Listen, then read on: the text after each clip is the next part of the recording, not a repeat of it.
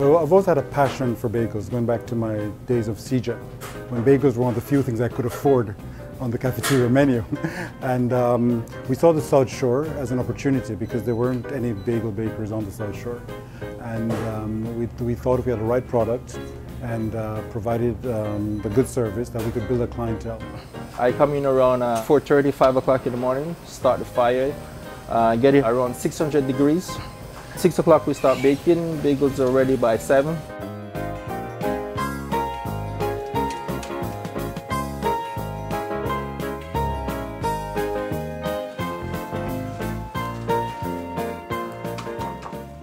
We make around uh, 13 different flavors, from sesame seed to coconut bagel.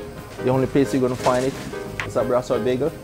You know, we have flaxseed for the health conscious people, banana chocolate, whole wheat, multigrain. So we do a little bit of everything.